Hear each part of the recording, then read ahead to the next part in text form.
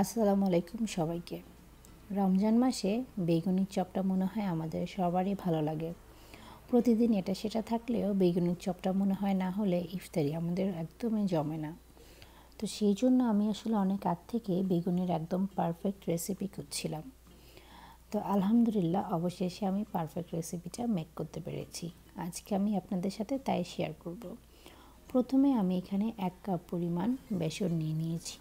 সাথে নিয়েছি দুই চা চামচ পরিমাণ চাউলের গুঁড়া আর এক চা চামচ পরিমাণ বেকিং পাউডার, এক চা চামচ পরিমাণ আদা রসুন বাটা, হাফ চা চামচ পরিমাণ জিরে পাউডার, হাফ চা চামচ পরিমাণ মরিচ পাউডার, হাফ চা চামচ পরিমাণ ধনিয়া গুঁড়ো এবং হাফ চা চামচ পরিমাণ হলুদ গুঁড়ো এবং পরিমাণ মতো লবণ দিয়ে আমি এগুলোকে ভালো করে মিক্স করে নিচ্ছি। এখন যদি ভালো করে মিক্স না হয় টেনশনের কোনো কারণ নেই। কারণ আমরা যখন এটাকে পানি দিয়ে মিশাবো, তখন আরও ভালো করে মিশিয়ে ফেলব। একটু খেয়াল করলে বুঝতে পারবেন, আমি এখানে অল্প একটু পানি দিয়ে দিয়ে ডোটাকে ভালো করে মিক্স করার চেষ্টা করছি, যেন মশলা এবং সমস্ত উপকরণ ভালো করে মিশে যায়। আর ডোটা যখন মোটামুটি রেডি হয়ে যাবে, তখন আমি এখানে একটু গরম তেল দিয়ে দিচ্ছি।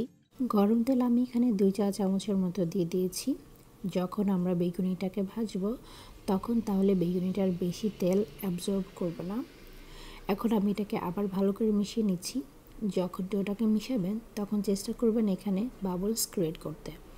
বাবলস যদি ক্রিয়েট হয়, তাহলে বুঝবেন যে আপনার ডোটা মিক্স করা একদম পারফেক্ট হয়েছে। ডোটার কনসিস্টেন্সি কীভাবে বুঝবেন, তা আমি দেখিয়ে দিচ্ছি। চামচে নিয়ে যখন ফেলবেন, তখন কিন্তু এটা একটু সময় নিয়ে পড়বে। সাথে সাথে কিন্তু পড়ে যাচ্ছে না। আর একটু ভালোভাবে বোঝার জন্য ডোটাতে একটা আঙ্গুল চুপিয়ে দেখতে পারেন।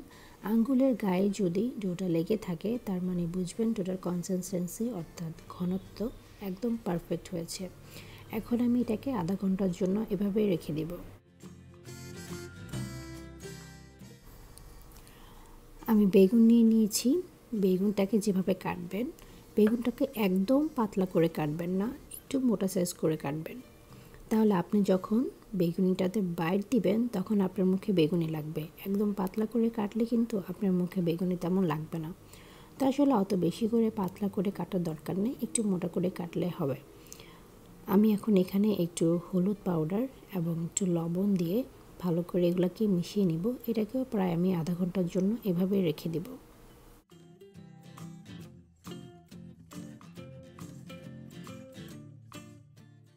আধা ঘণ্টা পরে আমি বেগুনিগুলোকে ভাজতে চলে এসেছি। তেলটা একদমই টাটকা গরম হতে হবে। এখন আমি এখানে বেগুনিটা দিয়ে দিব। বেগুনি দেওয়ার পরে জাস্ট পাঁচ সেকেন্ড অপেক্ষা করে আমি বেগুনিগুলোকে উল্টে দেব। তাহলে দুই পাশে বেগুনিটা ফুলবে। আর বেগুনের উপরে কন্টিনিউয়াসলি চামচ দিয়ে এভাবে করে আমি তেল দিতে থাকব, যেন এগুলো পারফেক্টভাবে ফুলে যায়। আমি একটু ছোট চামচ দিয়ে করছি, তাহলে আমার আসলে কাজটা করতে অনেক ইজি হয়। আরেকটা যেটা খেয়াল রাখতে হবে, অনেকগুলো বেগুন এখানে একসাথে দিয়ে দেওয়া যাবে না। আসলে এটা আপনার আরেকটু ডিপেন্ড করে প্রাইফেনের উপরে। আমি প্রাইফেনটা একটু ছোট নিয়েছি এই জন্য আমি একটা বেগুনি যখন ফুলে যায়, তখন আমি আরেকটা বেগুনি দিই।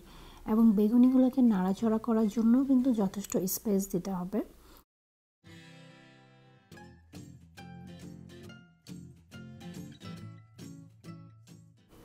আমার এই রেসিপি ফলো করে আপনারা বেগুনি তৈরি করলে আপনাদের বেগুনি যে একটা পারফেক্ট বেগুনি হবে, সে গ্যারান্টি আমি আপনাদের দিতে পারি। বেগুনিগুলো ব্রাউন কালার হওয়া পর্যন্ত আমি এখন ভেজে নিব।